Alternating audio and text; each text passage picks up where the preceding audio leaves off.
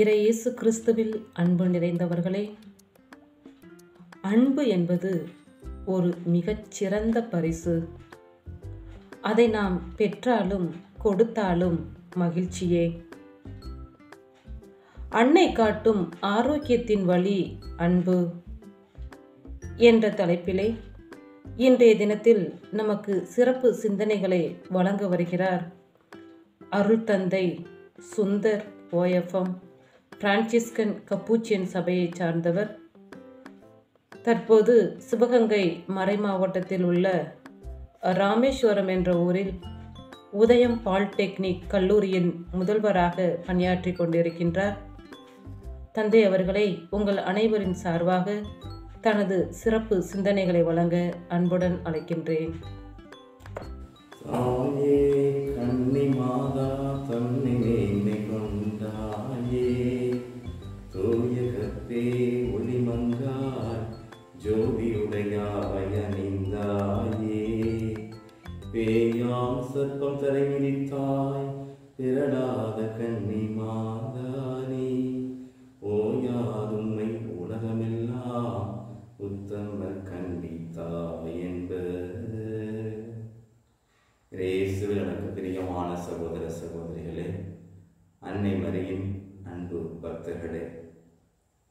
அன்னை காட்டும் ஆரோக்கியத்தின் வழி அன்பு என்ற தலைப்பிலே நாம் இன்று சிந்திக்க இருக்கின்றோம்.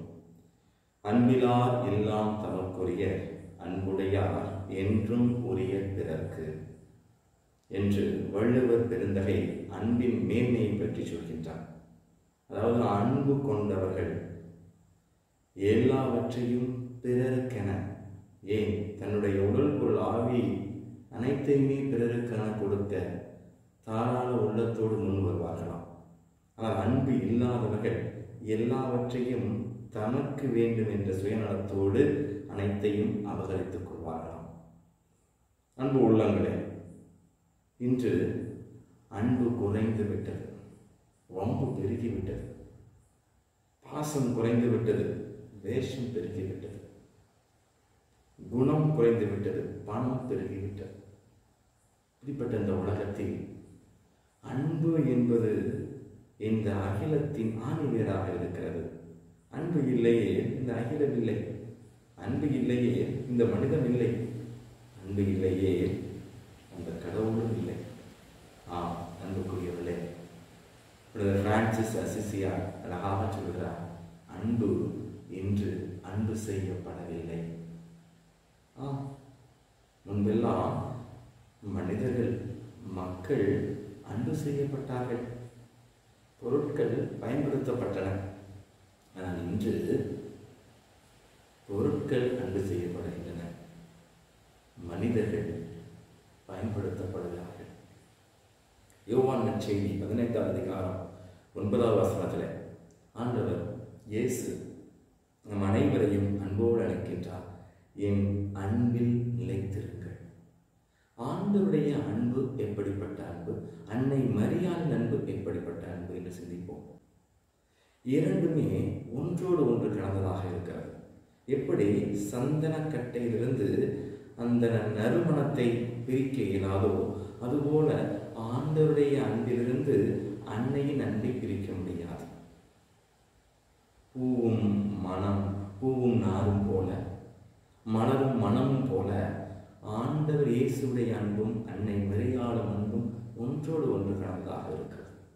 அன்பு மக்களே குழந்தைகளிலே முதல் திருமணத்தில் நாம் அனைவரும் அறிந்தது போல பதிமூணாவது அதிகாரத்தில் நான்கு ஐந்து வசனத்தில் பவுருடைய அருமையாக சொல்கிறார் அன்பு பொறுமை உள்ளது நன்மை செய்யும் பொறாமைப்படாது தற்புகழ்ச்சி கொள்ளாது இருமாப்பு அடையாது அன்பு இழிவானதை செய்யாது தன்னலம் நாடாது எரிச்சலுக்கு இடம் கூடாது. தீங்கு நினையாது. ஆம் இப்படிப்பட்ட அன்புதான் அன்னை மெரியால் கொண்டிருந்த அன்பு. நீங்கள் பார்த்தீர்கள் என்றால் அன்பு தாய்மை இரண்டுமே மூன்று எழுத்து சொற்கள். என்னை பொறுத்தவரை அன்பு என்ற மூன்றெழுத்து சொல் தாய்மை என்னும் மூன்றெழுத்து சொல்லில் அர்த்தம் பெறுகின்றது. அன்னை மரியாளுடைய அன்பிற்கு ஈடு இணை கிடையாது. புனித மேக்ஸ்மிலியன் கோல்பே என்ற பிரான்சிஸ்கன் புனிதர் அழகாக சொல்கிறார் never be afraid of loving Mary too much அன்னை மரியாளை அதிகமாக அன்பு செய்ய பயப்படாதீர்கள். You can never love mother Mary more than Jesus did ஏசு ஆண்டவர் அன்னை மரியாளை அன்பு செய்ததை விட நீங்கள் அதிகமாக மாதாவை அன்பு செய்ய முடியாது என்று மேக்சிமிலியன் கோல்பே சொல்கிறார். ஆம் அன்பு மக்களே ஏசு ஆண்டவர் மாதாவை எந்த அளவுக்கு அன்பு செய்தார்? அவ்வளவு ஆழமாக அன்பு செய்தார். அதே போல நாமும் மாதாவை மாதாவிடம் அன்பு அன்பு சொல் அன்பு செய்ய வேண்டும். மாதாவிடம் உள்ள அன்பு தெய்வீக அன்பு.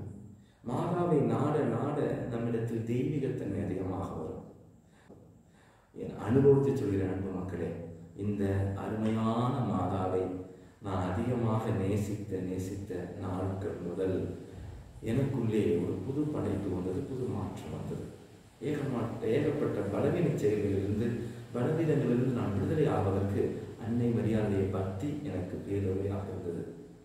வேளாங்கண்ணி மாதா மீது பக்தி கொண்டவர்களாக மாதாவுடைய பிறந்தநாள் விழாவை கொண்டாட அனைவரும் நவநாட்கள் எடுத்து கொண்டிருக்கிறோம் அன்பு நெஞ்சங்களே மாதாவுக்காக இரண்டு முறை கும்பகோணத்திலிருந்து ரொம்ப தூரம் இல்லை. ஒரு எண்ப எண்பத்தி அஞ்சு கிலோமீட்டர் நடந்து பாத யாத்திரையாக போன அனுபவம். அந்த பாத யாத்திரை அனுபவம் என்னை இன்னும் அதிகமாய் மாதா மீது பற்றுக்கொள்ள வைத்தது. எனவே ரோமியர் திருவிழ திருமுகத்தில் பனிரெண்டாவது அதிகாரம் ஒன்பது பத்தாவதிலே பவுரடியார் சொல்வதைப் போல நான் இறுதியாக உங்களுக்கு சொல்கிறேன். உங்கள் அன்பு அன்னை மரியாளுடைய அன்பைப் போல கள்ளமற்றதாய் இருப்பதாக தீமையை வெறுத்து நன்மையை கற்றுக்கொள்ளுங்கள் உடல் உறுப்புகள் போன்று ஒருவரை ஒருவருக்கு உளம் கனிந்த அன்பு காட்டுங்கள்.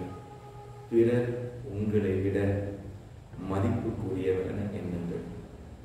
அருள் நிறைந்த மரியை வாழ்க. ஆண்டவர் முரணே பெண்களுக்குள் ஆசு பெற்றவர்களே நீரே இயேசு மாசு பெற்றவரே. புனித மரியே இறைவனின் தாயே பாவைகளாயிருக்கின்ற எங்களுக்காக இப்பொழுதும் எங்கள் இறப்பின் வேலையும் வேண்டிக் கொள்ளும் தன்னுடைய சிறப்பு சிந்தனைகளை வழங்கிய தந்தை அவர்களுக்கு எங்கள் ஆமீன் குழுவின் சார்பாக மனமார்ந்த நன்றிகளையும் வாழ்த்துக்களையும் உரித்தாக்குகிறேன்.